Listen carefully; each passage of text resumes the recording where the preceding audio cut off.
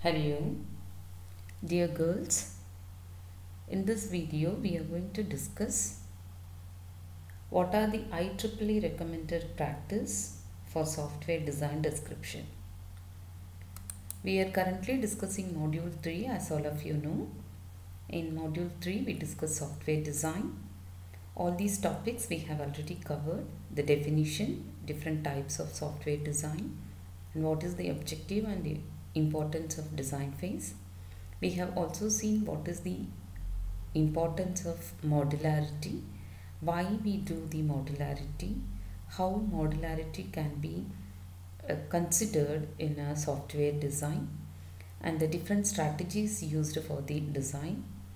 Then we have also discussed what is function oriented design. Today in this video, we are going to talk about the IEEE recommended practice for software design description.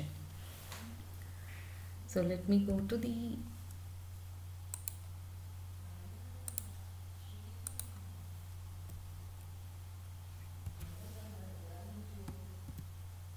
So this is the IEEE recommended practice for software design description as mentioned by Rakesh Agarwal sorry, uh, as mentioned by KK Agarwal's Software Engineering 3rd edition textbook. Now, this IEEE recommended practice, why we are discussing the IEEE recommended practice for software design description is that we have seen different software designs, different levels, all those things we discussed, right? The design notations used in function oriented design, etc. Now the important factor here is the software design document SDD software design document is the one which is the output of the design phase. Software design document is the output of the design phase. If so how what is the recommended content of the software design document is to be observed. That is why we are discussing this particular topic. So the topic deals with what is the scope of this description or uh, let me put it this way. What is the scope of this IEEE recommended practice? What are the references? What are the different definitions used here? What is the purpose of the software design document? What are the design description information content? What is the design description organization as mentioned by this IEEE standard? Now if you take the scope of this particular standard a software design document is a representation of a software system that is used as a medium for communicating software design information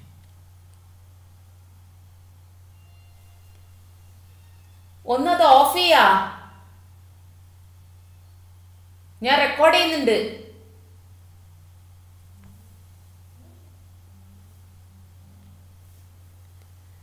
The software design document is a representation of a software system.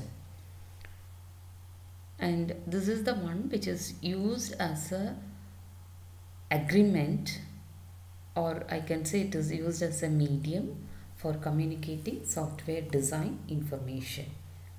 So this can be used by two different people, the customer as well as the developer. Now the references for this particular standard, these are the different references available. We have the actually this particular IEEE standard is 1016 released in 1998 and this particular standard refers some of the recommended practices available in IEEE standard 830 and IEEE standard 610.12. This is released in 1990 for software engineering terminologies and this is released in 1998 that specifies the requirement specifications. So these are the two references used for the developing this particular standard. Now, these are some of the definitions used in this particular standard IEEE standard. One is called as design entity design view entity attributes software design description. And software design description is also called a software design document.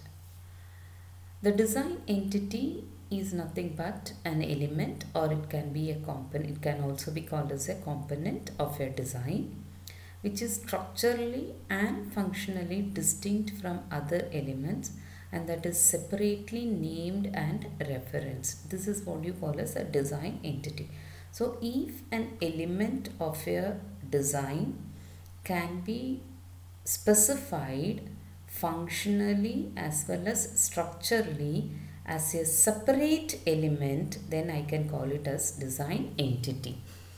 I repeat if a component of a design can be specified separately and that can give a structural and functional distinction from other elements then you can call it as a design entity.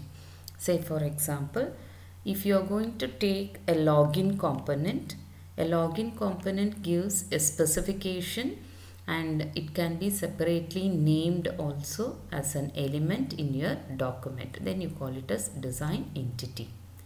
Another one is design view. Design view is nothing but a subset of design entity attribute information that is specially sorry that is specifically suited to the needs of a software project activity. So for the design entity if you have a subset and if the subset of uh, design entity attribute information suits to the needs of a software project then you call it as a design view. Another one is entity attributes a named property or characteristics of the design entity. So if i have a login component as a design entity then the subset of login component can be called as the design view. Say for example, the user interface can be called as a design view or the database that you are going to use for the login component can also be called as the design view. How the database and the login interface is connected that can also be called as a design view. And if for the login component, if you have some specific attributes to be specified, that can be called as entity attributes then you have software design description. This is a representation of the system created to facilitate analysis planning implementation and decision making hmm?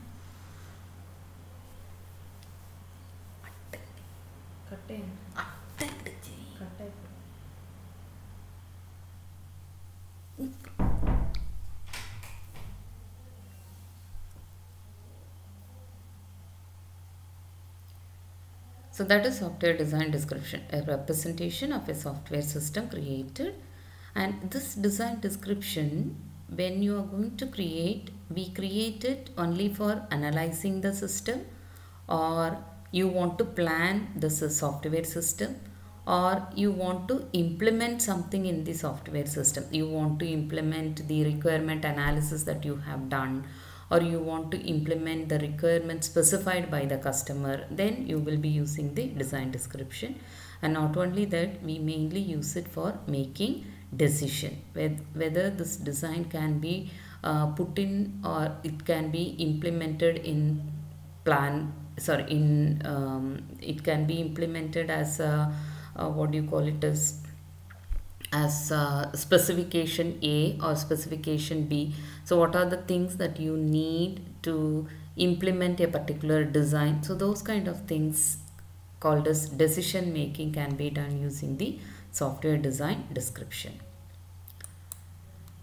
And so the scope of the IEEE standard we have seen that gives you a representation of a software system and it acts as a medium for communication between the developer and the customer. And not only that between the developer and the coding people also you can use it. And these are the references for this particular standard also we have seen. Then we have seen different definitions used here. One is called as design entity a particular component which can be separately specified. And this component is structurally and functionally it is independent Then you have the design view. Design view is nothing but a subset of design entity attribute information that is specifically suited to the needs of a software project activity. And another one is entity attributes. Entity attribute is whatever design entity you are going to specify and for that entity if you have properties and characteristics that can also be specified and this one generally provides a statement of fact about the entity. Then you have the design description. This is simply a representation of a software system created which will be facilitating the analysis, planning, implementation and decision making. Then the next one is called as purpose of an SDD. Purpose of your software design description. So what is the purpose of software design description? Now the SDD will generally shows how the software system will be structured to satisfy the requirements identified in the SRS. And it is basically the translation of requirements into a description of the software structure, software components, interfaces, and the database design, data necessary for the implementation phase, etc. Therefore, your software de design description becomes the blueprint for the implementation activity. So whatever you have specified in the software requirement specification, this is again, uh, I, I think uh, you girls remember SRS is the output of your requirement analysis phase and this output specifies all the requirements specified by the customer. And all these requirements will be now transformed into a, design in this SDD and this SDD will basically specify the software structure or you call it as architecture then software components and what are the different user interfaces you are going to use? When I say interfaces it's not only interfaces any other application programming interfaces you are going to use that also be included here and any data necessary for the implementation phase etc therefore your software design description generally becomes the blueprint. You, it gives you a complete plan of how the implementation activity is to be carried out then you have the design description information content so when you have this design description information content you will have all these things inside the design description information content. It is nothing but the introduction, the design entities and design entity attributes. Apart from that, the attributes and the associated information items are defined in the following subsections also. Identification, type, purpose, function, subordinates, dependencies, interfaces, resources, processing and data. Then you have the design description organization. So any design description, your SDD must follow this particular format. So in any SDD, you must have the introduction, the purpose, scope, definitions and acronyms. Then the second part will be references and the third one will be the decomposition description like what are the different modules available and what oh, the module name and its description should be given then at the same time the process decomposition can also be given. The data decomposition can also be specified. So in chapter 1 you will have the introduction. And in chapter 2 you will have the references. Chapter 3 sorry chapter 3 deals with decomposition components. And chapter 4 will specify the dependency descriptions how one module is dependent on another module how one process depends on another process and how data depends on another data. Those dependencies can be specified. Then you will have all the interface descriptions all the module interfaces and the process interfaces must be specified. Then you must have the detailed design so these are generally the six chapters you will have in the software design description. Introduction references the decomposition of description. When i say description the entire software system description. Then the dependencies between the decomposed modules and processes and the interfaces between the modules and the process and you will have all the detailed design description will also be specified here. So this is what you call as IEEE standard for IEEE standard for software design description. Now when you take this IEEE standard, the recommended organization, any recommended organization of the software development, sorry, software design description into separate design views to facilitate information access and assimilation is given in this particular table. I repeat, a recommended organization of STD into separate design view to facilitate information access and assimilation is given in this particular table.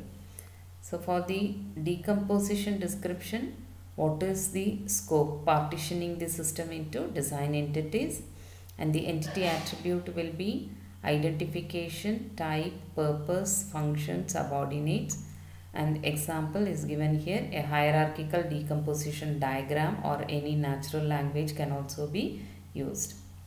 And in the way, same way for dependency description the description of relationship among the entities must be specified and their identification, type, purpose, dependencies and what are the resources used can be specified here. Then this can be represented as a structure chart, a data flow diagram or transaction diagram. Then you have the interface description. You can have list of all the everything a designer, developer, tester needs to know to use the design entities that make up the system and specify the identification function interfaces etc and you can use parameter tables or interface files for representing the interface description. Then you have the detailed description.